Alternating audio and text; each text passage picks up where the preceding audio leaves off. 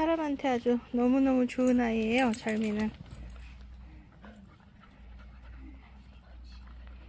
낯선 사람도 만질 수 있고, 절미는 처음 보면 배도 보여주고. 음, 절민 성격이 참 좋아요.